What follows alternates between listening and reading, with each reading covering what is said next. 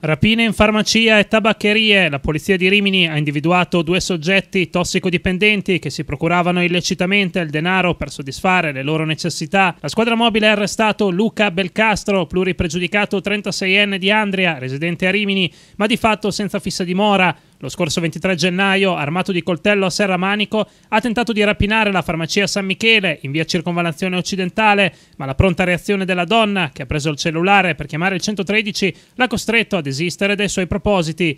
Il 36enne è stato rintracciato a Montegrimano, in provincia di Pesaro, presso la comunità Serenity House, dove era in cura per la sua tossicodipendenza.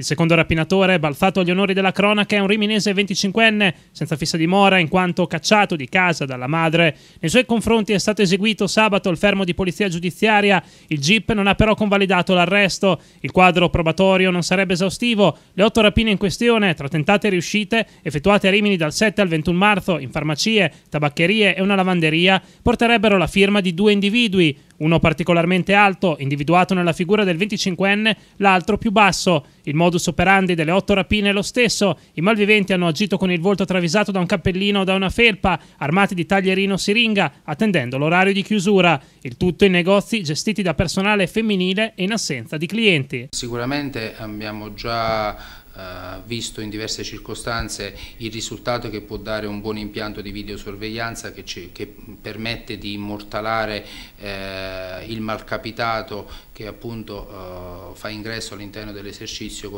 sicuramente con, uh, con, un fare non lecito. E quindi mm, mi ritengo, ritengo, di dover suggerire agli esercenti di migliorare o munirsi di un sistema di videosorveglianza